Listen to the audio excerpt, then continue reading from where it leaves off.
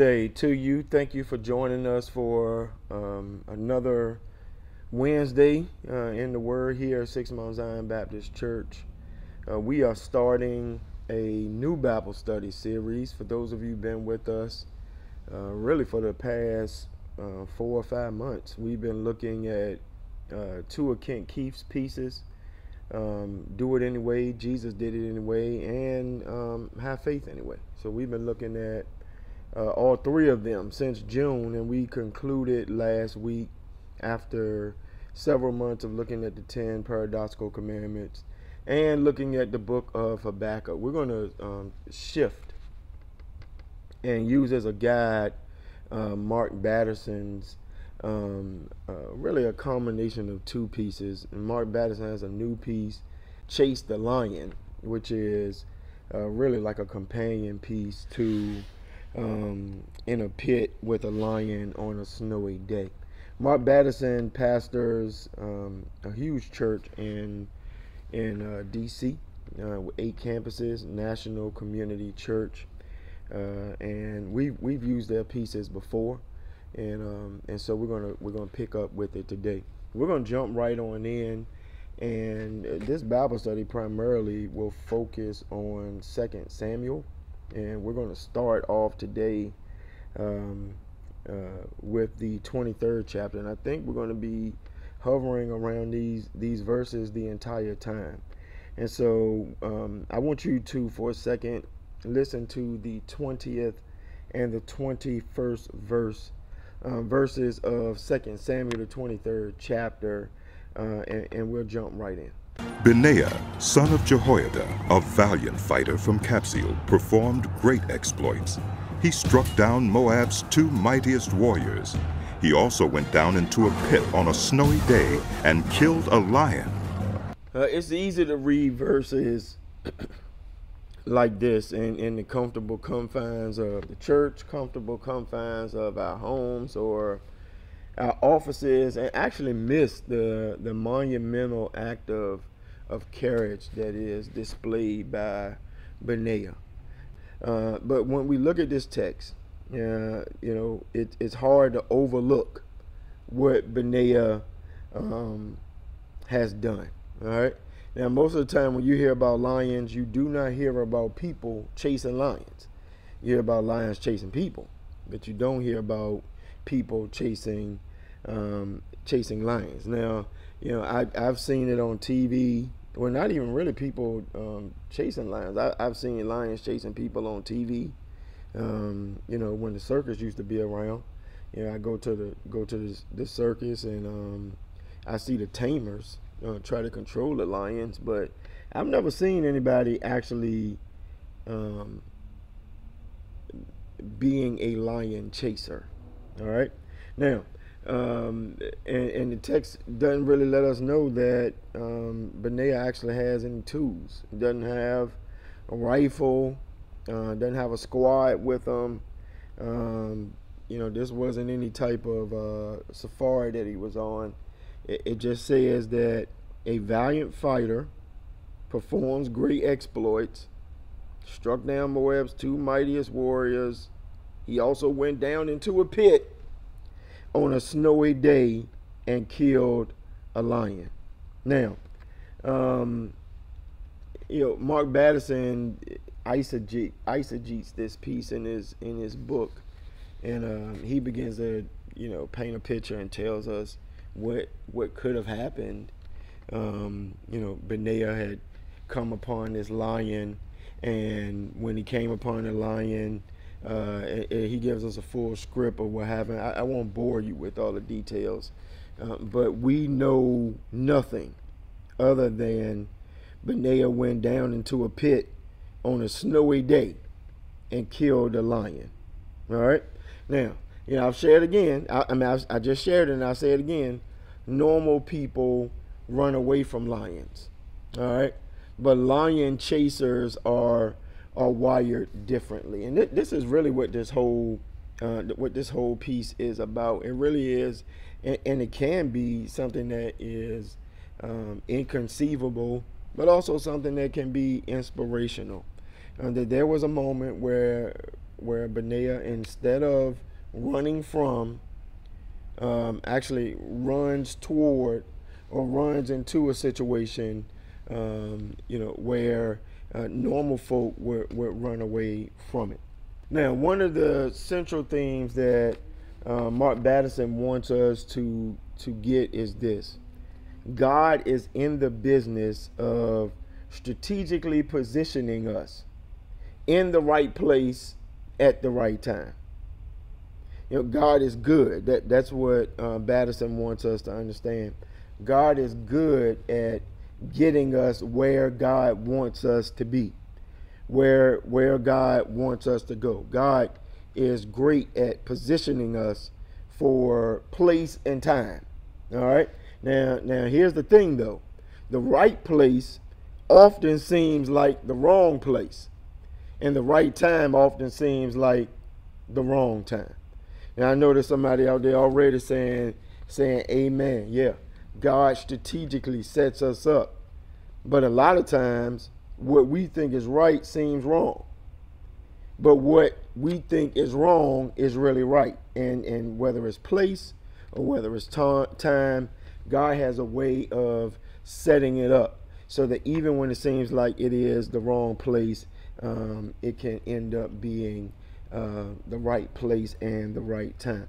And so Batterson, as he starts his journey into kind of setting us up for what we're going to be discussing for the next couple of weeks, and this, this is really what I want you to start to set your mind um, toward. That there are some moments that you're going to have to chase the lion. All right, there are going to be some times when you're going to have to run after what does not make sense. All right, and God, this is what God will do. God will turn what could what could have been considered a bad break into a a big break. It God can take what in your eyes seems to be the wrong time, in the wrong place, in the wrong situation, wrong circumstance, and God can set that thing up um, to to work out for your good. Batterson shares this in the book. He says encountering a lion in the wild can be typically a bad thing. Not even can be, is typically a bad thing. A really bad thing, he says. Finding yourself in a pit with a lion on a snowy day generally qualifies as a horrible, very bad day. That combination of circumstance spells out one thing, in particular for you, and that's death. All right? I don't think anyone would have bet any money on Benaiah uh, winning this fight. Now, put this thing in perspective. A lion, all right. And I, I, I saw some. I saw thought, saw something that said lions could weigh up to 500 pounds. Some even larger. Some can jump um, 30 feet at a time. They can run up to speeds of 35 miles per hour. They are ferocious. Their claws are. Um, they can rip your skin and dig into your flesh. Their teeth can rip you apart.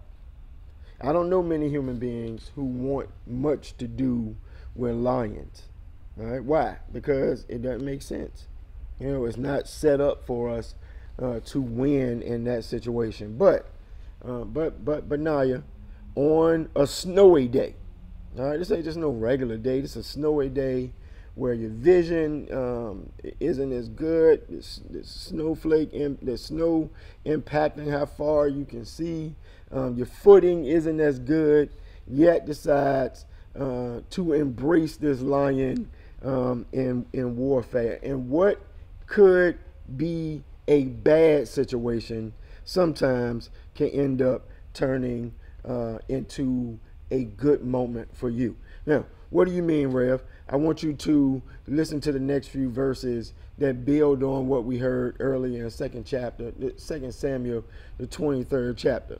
Uh, we are introduced to a mighty warrior named Benaiah, who um, is a valiant fighter, and he goes into a pit to fight a, lion, uh, and we perceive that he's going to end up dying there. But I want you to see what happens. Listen to the verses and he struck down a huge Egyptian. Although the Egyptian had a spear in his hand, Benaiah went against him with a club. He snatched the spear from the Egyptian's hand and killed him with his own spear. Such were the exploits of Benaiah, son of Jehoiada. He too was as famous as the three mighty warriors. He was held in greater honor than any of the thirty, but he was not included among the three, and David put him in charge of his bodyguard. Now, this is where we're trying to go with this piece. That God is in the resume building business. What ends up sounding crazy, what ends up being the wrong place, what ends up being the wrong time, what ends up being the wrong situation, what ends up being you in the wrong city, what ends up being you in the wrong field, what ends up being you around the wrong people, can actually be God setting up your resume for what God is about to do. And look, look at the words that are on the screen. God uses your past experiences to prepare you for your future opportunity. All right. But those God given opportunities often are disguised as man eating lions. Is that registering in, in your spirit? Look at your resume and look at the building blocks that have gotten you to where you are right now. Look at your past and the stuff that doesn't make any sense, the things that don't really line up with what you would love to do, the things sometimes that seem crazy. You look back on it and think to yourself, how in the world did I even make it through that? How in the world did I survive that season? How in the world did I um, survive that particular situation? And you look back on it, and sometimes God can take those ugly, jacked up, messed up moments and help to build your resume with it and set you up. What may look like a bad break ends up being a big break. And so we chase our God ordained destinies by seizing the God ordained opportunities. All right. Now you, you Benaiah had no idea what was coming next. All right. He had no idea. But the truth is, um, that situation even though it could have ended up being a moment of death for him, um, strengthened uh, his journey. And when the story needed to be told, Benaiah definitely could put on his resume that uh, on a snowy day, he chased the lion and killed the lion. And, and so we, we chase our God ordained destinies by seizing the God ordained opportunities. And sometimes the God ordained opportunities require you to take risk, require you to take risk. One of the life lessons that I want you to pull away from this is this taking no risk is the greatest risk of all. Look back on your life. How many times have you missed out on moments because you were afraid to take a risk? Now, I'm telling you, you don't want to live your life taking no risk because that's the greatest risk of all. Sometimes you got to seize the moment. Sometimes you got to chase the lion. Sometimes, even on a, snow, a snowy day, you got to get down in that pit and go to war. All right? And it's going to require you to take a risk. There might be some moments where things, um, you take a risk and it does not work out the way you want it to. Mark Batterson in his book talks about some of the great risks that he's taken and how those great risks have turned into major successes. Not just for him, but for the ministry that he's a part of. But he also talks about some some risks that he's taken and they end up not working out for the good. He goes on and, and defines stories of people who are connected to his ministry that he will talk about later in his book. And he talks about some who gave up Fortune 500 um, um, company jobs and went and started ministry and, and it worked out for him. But he also talked about some who who quit other things to run for public office and they lost. Risk are a part of the journey. But if you don't take any, that's the greatest risk of all. Now, um, Batterson also talks about another piece. Again, just setting the tone for where we are trying to go. And hopefully some of this stuff is is going to be helpful to you. He also talks about um, you know risk and regret uh, pretty much being a partnership, and that there are um, two types of regrets. There's the regret of action, all right, that is um, wishing that you hadn't done something, and then there's the regret of inaction which is wishing that you had done something. He goes on to describe them as sins of commission and sins of omission. All right. A regret of action is wishing you hadn't done some, that, something. That is a sin of commission. All right. And then wishing you had done something is a sin of omission. And he talks about many persons um, living their lives and um, regretting inaction instead of regretting action. You can deal with action. All right, the sin of commission. Now he says this: the church is fixated on sins of commission for far too long, and we got a long list of things that that, that we shouldn't be doing. You, know, you think of it by holiness by subtraction. We think holiness is the byproduct of subtracting something from our lives that should not be there, and holiness certainly involves subtraction. But I think God is more concerned about sins of omission, those things that we could have and should have done it is its holiness by multi- multiplication. When's the last time, um, or are you there right now, where you're wrestling with something and you want to do it, but you're you're afraid. You want to do it, but there are risks. You want to do it, but you're afraid of how it might turn out if it doesn't go well, then what? And you are willing because you're not, um, you're afraid to take the risk. You are willing to live your life um, with the regret of inaction. Who am I talking to? Is that you? I'm trying to challenge you today. Maybe we're led here, and maybe this specifically is for you. Maybe it's not for me. Maybe maybe it's not for um, some who are listening, but maybe this specifically is for you. That right now there is something in your spirit that God is trying to get you to do. And God does not want you to be five, ten months down the road, two years down the road, having the regret of inaction because you were afraid to take a risk because you were afraid to be like our brother here in the text who went after what it is that he wanted, dealt with the situation. And here you are sitting on the sideline. I'm trying to tell you today that sometimes you gotta take the risk. Because if not, you could end up at a place of um, wishing you had done something. All right?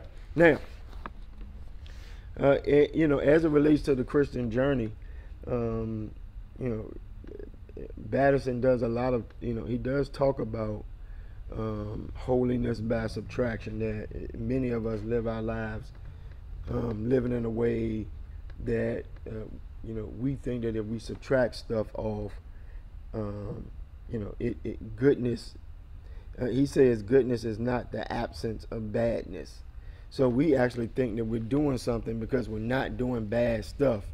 When listen, Batterson says you can do nothing wrong and still do nothing right.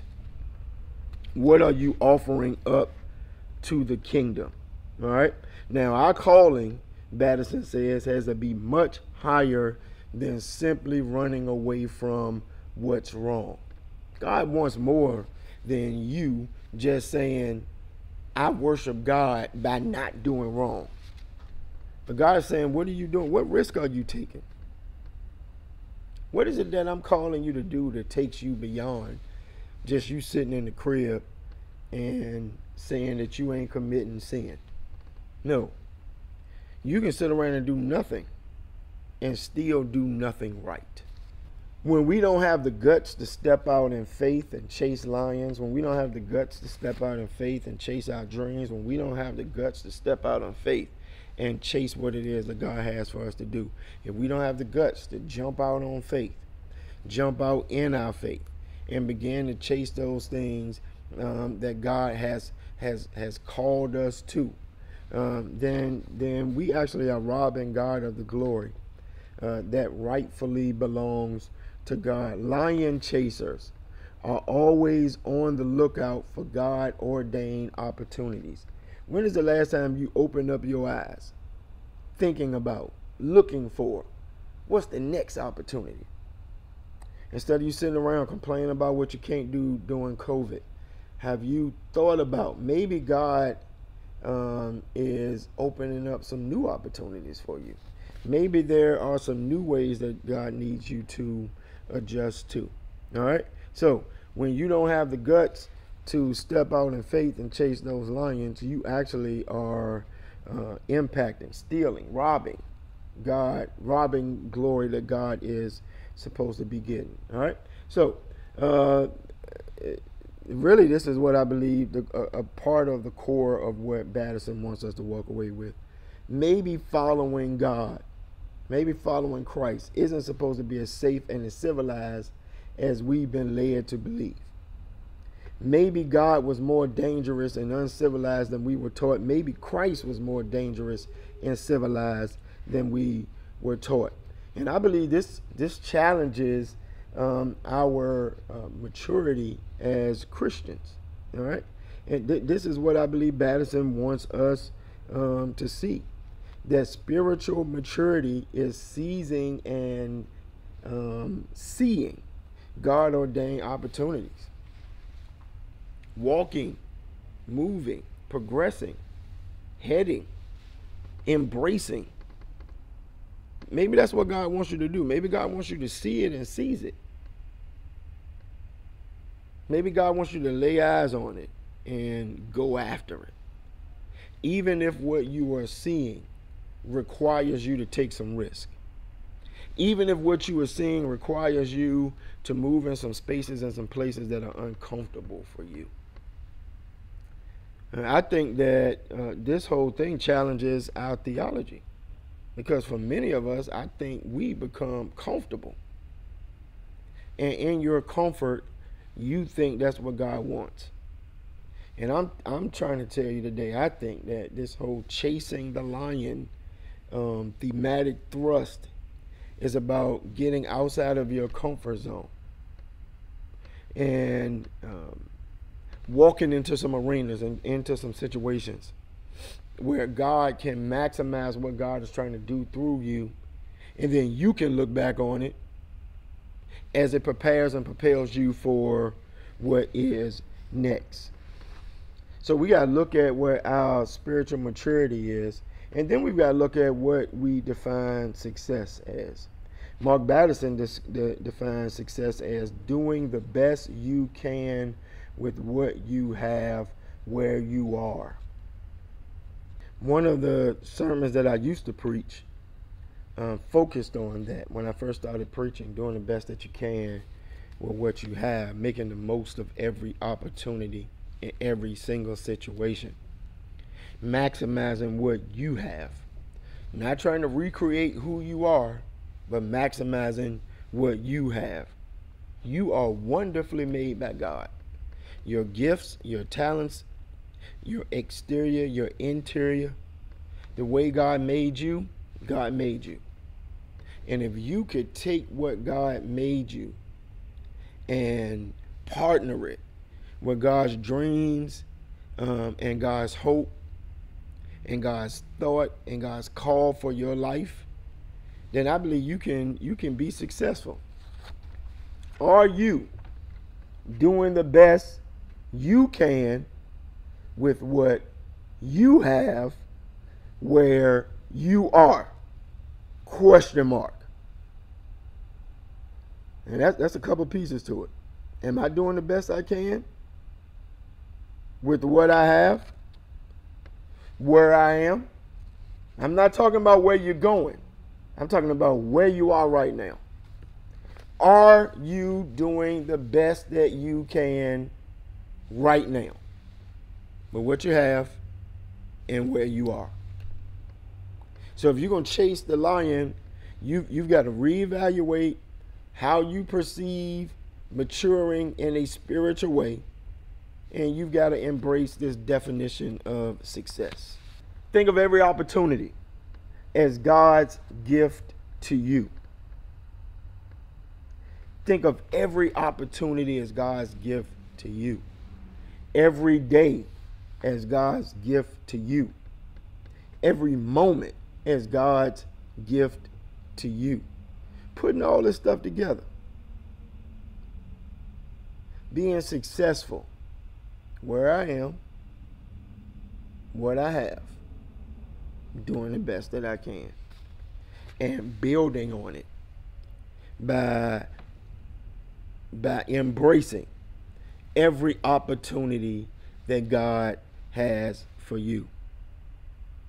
Now, what you do with these opportunities is your gift to God. All right. So I am, uh, I'm embracing it. Every morning I'm waking. Every morning I'm waking up. I'm, I'm, I'm realizing that it is a gift from God, and what I do with it is my gift back to God. Every moment that I have is a gift from God. Every relationship that I have is a gift from God. What I do with those things is my gift back to God. All right. I've talked about success, but but I want to circle back to it. All right. Your okay, so if success is doing the best that I can with what I have where I am, then how I offer it uh, really becomes my stewardship. And so steward, so success equals stewardship, and stewardship equals success. But maybe uh, our view of stewardship is too narrow. So what do we think stewardship is? My time, talent, and treasure. That's what it is. That's what we've always been taught. And usually in church, we talk more about the treasure part of it. We don't talk as much about the time. We don't talk as much about the talent. But all of it is important. My time is um, my gift to God. How I offer it up. My talent is my gift to God. How, how God, how I offer it up. My treasure is my gift to God, and how I offer it up. But but we've got to think about stewardship beyond those things. Um, Batterson talks about stewardship as it relates to how I think, my imagination what what goes on in, in the prefrontal cortex. Right? You know, according to neurologists, he says. What about our, our stewardship of our, competitive streak? Everything, all inclusive. We got to be good stewards of every second of time and every ounce of energy. All right? So when you wake up,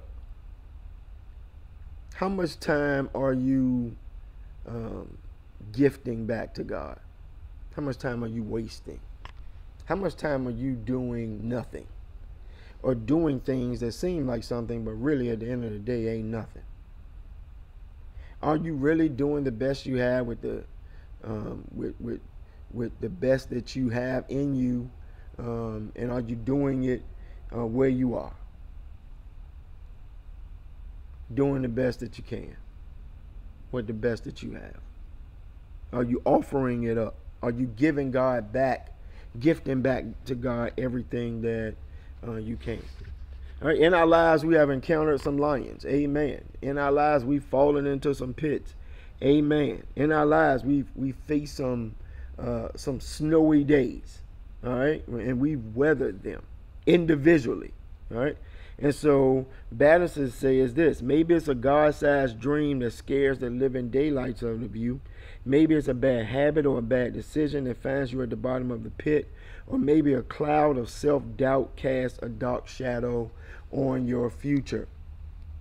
But to get to where God has you to be, you're going to have to, instead of running, you've got to encounter. Instead of ditching and dodging, sometimes you got to go in the pit. Instead of staying in the house and being afraid to go out in the snow and deal with it, sometimes you got to put on your your snow boots and you got to go outside in the snow. You got to be able to you got to encounter the lion. Sometimes you got to fall into the pit. Sometimes you got to weather uh, the snowy days.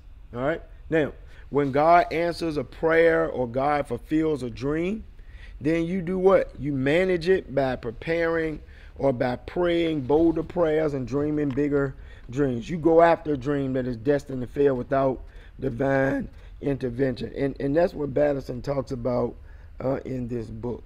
All right. he he talks about when God answers a prayer and when God um, fulfills a dream, then you got to pray harder, pray bigger, go after something bigger. You go after dream. You only go after stuff that if there was no divine intervention, it would fail. When was the last time you took that type of risk? When was the last time you did something that you know if it had not been for God, that thing would have floundered? Some of the mess you're doing now is floundering because it does not have any divine intervention attached to it. Maybe that's the problem. Maybe you're doing stuff and you ain't praying. Maybe you're not seeking God to fulfill um, uh, to fulfill a dream. But I want to challenge you to do two things. First of all, to make sure that God is a part of what you're doing, and then second of all, to to to make sure that it's it's something that you're going after that if God was not involved in it, you know it will fail. You know it would fail. So the beauty of um, this type of mindset, going after something that you would fail if it was not for God's divine intervention, challenges us to to look at stuff in a different pers- in a different perspective. And so, you know, we overestimate what we can com- accomplish in a year, but we underestimate what God can do in a decade. That's why we got to be um, chasing what it is that God wants us to chase and not just be settling for the things that we think we can accomplish. Lion chasers are more afraid and are you a lion chaser? That's the question. Are you a lion chaser? Will you become one? Lion chasers are more afraid of missing God ordained opportunities than making a few mistakes along the way. You're going to make some mistakes. You're going to fail. There are going to be some times when you don't succeed. You know, I thought about this as I was reading how many different times I have uh, done things and I failed because um, it just wasn't in God's plan for that particular thing to happen. But guess what? It was in those mistakes, it was in those failing moments that I've grown, that I've matured, that I've learned. I, I wrote down before, sometimes before the wins, you've got to take losses. You got to take losses. And I was out with um, two of my friends on um, uh, on last week, and we, we were talking about we were talking about politics, and one of them said, you know, you lost before. You're asking me, uh, you know, and yeah, I did. You know, some of you may not know this, but I, I ran for a political office in 2007, and I lost, and I hated it. I did not like the way I felt and I promised myself that I would not ever do it again. But a few years later, I felt led and I did, and I ended up winning. But if I hadn't have tried in 07, then it wouldn't have been a 2011. And if it wouldn't have been a 2011, it wouldn't be a 2020. And so sometimes you got to take that L. Sometimes things in life, um, you know, you're not going to always win. There going to be some times when you don't win. There going to be some times when you make wrong decisions. There going to be some times when you make wrong um, choices. There going to be some times when you really believe it's something for you, but it's not for you. And so God won't allow you to, to have it because God has something else for you. All right? But you've got to be um, you, you've got to be more afraid of missing out on what God has for you than you are in, in making mistakes. All right? So, question for you. What if the life you really want and the future God wants for you is hiding right now in your biggest problem, in your worst failure, in your greatest fear? What if the life you really want and the future God wants for you is hiding right now in that problem, in that failure, in that fear? You can't be afraid to go after it just because stuff is not working out for you. And you cannot use the place in your life, your age. You can't use that. The people out there right now. Listen, just because you're past retirement age doesn't mean you're past your prime. Come on, I'm talking to somebody right now. You might be just hitting your prime. And maybe the retirement was a setup for you to move into what God has for you. It's never too late to become who you've always dreamed of being. Amen, somebody. How many stories um, are out there of people working jobs their whole lives, saving up money, only to retire to do what they've always wanted to do? Or to stop working a particular job in a particular space or doing a particular thing because God has something else for them to do. You got to understand and believe that it's never too late for you to be what God dreamed um, or what you dreamed of being. I, I'm done. The greatest opportunities are the scariest lions. Remember that. Impossible odds set the stage for amazing miracles. The greatest opportunities for you are always the scariest things. Those things that have become blessings for you. Be honest, they scared the mess out of you. Yeah, you made it look easy because God ordained it for you. But think about it prior to you doing it. You were scared. You were scared filling out that application. You were scared going for that interview. You talked yourself out of it many times. The greatest ops are the scariest lions. Impossible odds, my brothers and my sisters, set the stage for amazing miracles. So, uh, this Bible study series is uh, a survival guide for lion chasers. And what we're going to do over the next um, several weeks is to teach you some lion chasing skills. And you see them right here. We're going to deal with defying odds. We're going to deal with facing fears. We're going to deal with reframing problems. We're going to deal with embracing uncertainty and taking risks and seizing opportunities. And sometimes it's going to require you to look foolish.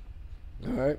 So odds, fears, problems, uncertainty, risk, um, see, seizing ops, and looking for all of that is a part of um, chasing a lion. All right, but chasing the lion is what's going to get you to where you need to be. Thank you for joining us uh, today for our Bible study. We've shifted, um, we've completed Habakkuk. Now we're looking at Second Samuel, the, the 23rd chapter. Uh, and we're going to be wrestling with what does it take to chase lions in 2020. All right. And so I'm looking forward to helping you, helping me develop some of these lion chasing skills.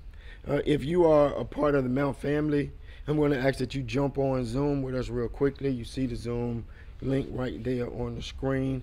Those of you on Uber Conference, I'm going to ask that you just hang on. Listen, I really miss talking to you and seeing you. So if you're on Bible Bible study, why don't you jump over real quickly? Jump over so we can see your face. Jump over so we can hear your voice. Jump over so you can uh, hear about some of the things that are going on at the Mount. For the rest of you who are not going to jump on, thank you for being with us today.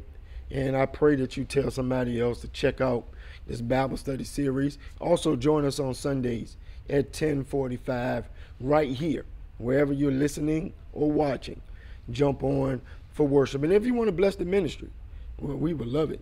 Go to smzbc.org, give online. You can do Cash App, dollar sign, um, uh, SMZBC. You can do Venmo, you can do text to give, and you can drop it off here at 14 West Duval Street, Richmond, Virginia, uh, 23220. God bless you. See you next Wednesday, same place, same time. For the rest of you, Jump on Zoom. Stay on.